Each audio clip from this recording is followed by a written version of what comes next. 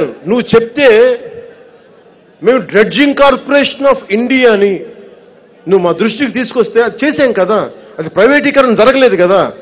నువ్వు చెప్పిన మాటను కూడా పరిగణలోకి తీసుకున్నావని చెప్పారు. వైజాగ్ స్టీల్ ప్లాంట్ కూడా చూడండి సార్ అని చెప్పాను కానీ సమస్య ఏముంది? కార్మిక సంఘాలు రావాలి.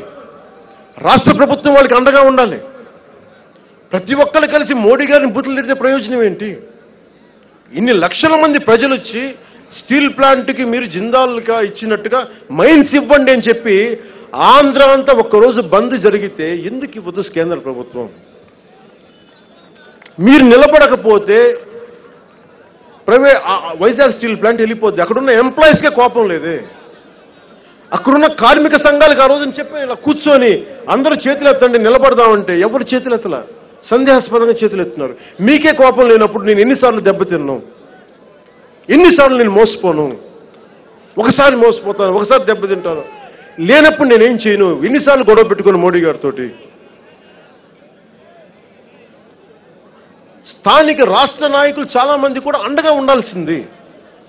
అండగా కనుక నిజంగా జనసేన బీజేపీ కలిసి కనుక నిజంగా మే- నేను అనుకున్నట్టుగా ప్రోగ్రాం జరిగి ఉండుంటే వైసీపీ వ్యతిరేక ఓటుని అనే పదం తెలుగుదేశం అనే పదం వచ్చిండేది కాదు. మనస్ఫూర్తిగా వచ్చినది కాదు. తెలుగుదేశం మీద నాకు ఎక్స్ట్రా ప్రేమేం లేదు. చంద్రబాబు నాయుడు గారంటే కూర్చోబెట్టి నాకు ఆయన ఆరాధనా భావం లేదు.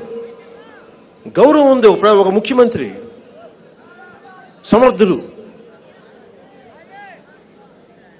మొన్న జగ మన ఇక్కడ